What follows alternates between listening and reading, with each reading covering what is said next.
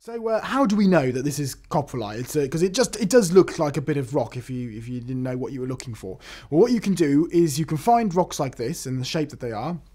You slice them in half and you find one of two things. You find little bits of food that's been left inside, little seeds if it's a it's a plant eating dinosaur, little bits like that. So that's how you know it's coprolite. And once you've identified what coprolite looks like on the inside and the outside, you can quite easily tell what it is in a lump like this, okay, once you get a bit of a knowledge about it. How do you know it's dinosaur? Very simply, it was buried next to a bit, uh, buried next to a dinosaur. That's a, it's as, it's as simple as that. Okay, uh, what you'll find both with humans and with animals, you find this with animals as well. When humans and animals are very, very frightened, they do sometimes do a little poo. Okay, it's, it's just a, a, natural fear reaction. It's right with humans, many people can relate to that. It's right with animals as well. So it was found right next to a dinosaur. So that's how you know it's dinosaur. Same with how you know that this little bit is from a turtle. Okay, now you coprolite is really, really common. You can identify it quite easily. It's all over the world. But most of the time, you can't tell whether it's dinosaur, turtle, or a fish or another creature unless you have a little bit of knowledge about the creature.